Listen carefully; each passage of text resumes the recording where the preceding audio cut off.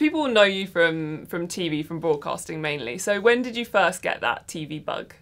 Oh, uh, the first time I decided this is what I really wanted to do, I was actually quite young. I was 15 and I was on Blue Peter. And I'd gone on to do gymnastics because I was a gymnast. And I walked into the studios and was like, oh my, it was a massive studio at TVC, the old iconic BBC studios, you know, in Shepherd's Bush that everybody knew and saw. And um, it just felt so exotic. And I was like, oh, this is amazing, all the lights, the cameras. And um, that's where I decided this is what I want to do. But of course, I, you know, I didn't know anybody who worked in telly. I'd never met anybody, you know, kind of in spite of having, you know, kind of my dad working in football, he met journalists, but we didn't really know telly people. So um, yeah, it took me a while to find some contacts and try and get some work experience, but that was that was the light bulb moment. Mm. And what did people say when you sort of you know put that out there as a career aspiration? Um, well, I my mum, whatever I said, she would say, "Go for it." You know, I could have come home and said, "I want to dissect frogs for, for you know for science for the rest of my life." She'd be like, "Brilliant!" You know, I'd like to I'd like to be an actress. Great, you know. So she was very enthusiastic. Um, and but again, she didn't really know how to get there. So I wrote the um, the director that day. There was a guy called Lewis Bronze who was directing the show, and thanked him for having us on, and said that I really was inspired and would like to work in telly. And he actually wrote back via the British Gymnastics Association a really lovely letter and said, "Go to university and get a degree." So it wasn't really very specific. It was, but it was nice of him to actually reply. And then years later, when I was working in telly, I was working for ITV and I was doing a show for ITV2 on health and fitness and it was his production company that was making it. He'd left the BBC. So as I walked on set, he said, "Ah, you took my advice." so um, yeah, it was it was a kind of um, in my immediate family. I think you know when you're a kid and you say you want to do something, most people just go, "Yeah, okay." You know, I mean, mm. my kids are 17 and they, my daughter's been through seven or eight different careers that she wants to do. So you never know what's going to stick, do you?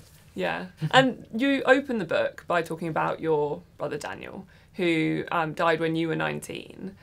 Why is that where this had to start?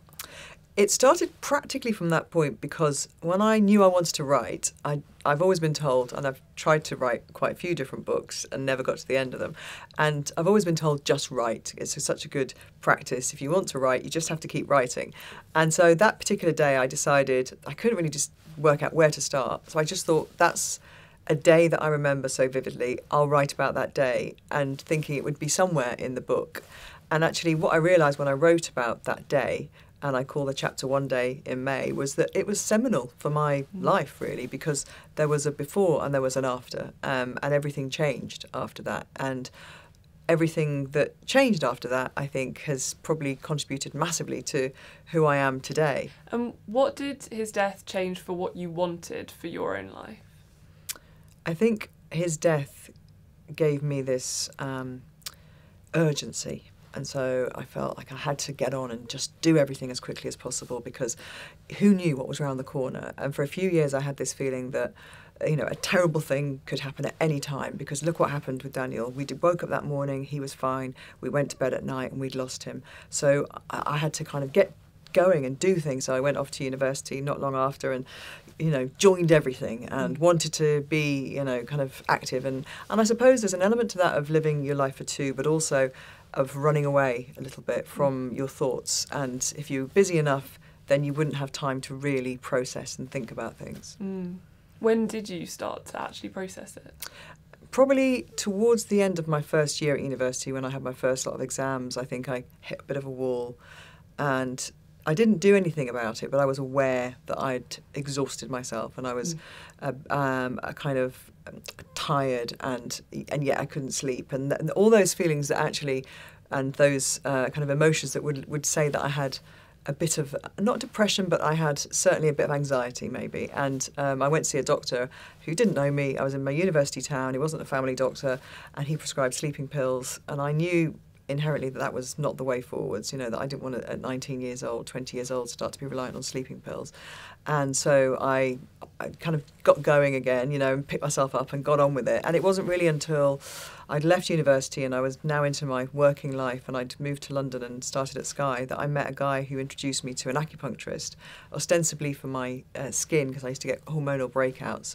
And actually, she was a brilliant therapist and counsellor. And that's when I really started to kind of unravel things, I think, and mm. give myself some kind of um, time to, to process. Yeah.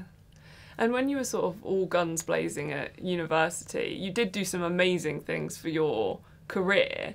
Um, so, what do those people mean to you who gave you that those kind of like first breaks into radio? The first person was a guy called Giles Squire, who was the boss of the radio station I worked for the whole time I was at Durham. I worked in Newcastle, so I had these parallel lives going on where I was a student during the day.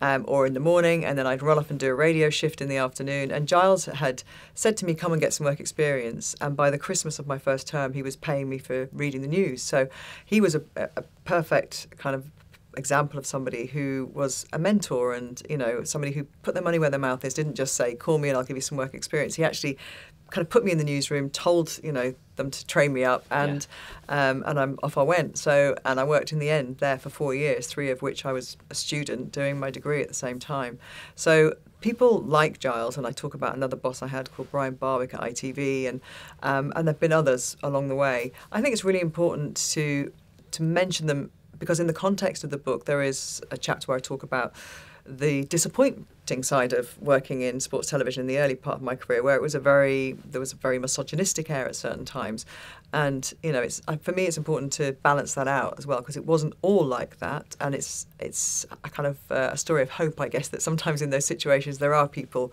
who you know you put your hand up and they'll they'll pull you out. Um, and you mentioned in the book that you used a certain voice for your first late night radio show, which was Fiona Bruce with a hint of Yorkshire. May I hear it? don't know. I don't know if I can tap back into it right now.